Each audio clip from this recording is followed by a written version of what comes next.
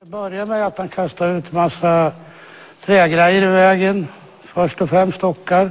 Vad fan, jag har inte slängt ut ett jävla dugg. Det har jag, Sitt arsnack! det har jag foto på. Jag har till och med foto Ja, du på. har foto, foto. Sluta och lek nu. Jag har foto på det. Du la ut fem stycken stora vedkattar mitt i vägen. Varför har du kört sönder väghelvete för Ja, mycket? men jag har ju servitut på vägen. Jag har min Och då har ju bara lyft undan allt det. Nej, det gick inte att lyfta undan. För det var... Varför har du satt upp järnspettarna i vägen för? Jobba för att du ska göra dubbla spår. Till slut så kör du över trappan med. Jag Men har, kommer det ingenting. jag har rätt att åka på tre meter Ja, väg. du har så mycket jävla rätt. Det är markägaren som har rätt. Han har sista ordet. Nej, Det är han som bestämmer hur i helvete du ska sköta dig. Och inget annat.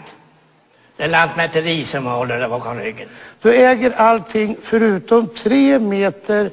På tre meter har jag rätt att åka. Du Kan äger du hålla käft en stund? Jag äger vägen med. Slutreplik Håkan Juholt. Ska han hålla på så går jag. Tack. Anförande Gustaf Fridolin.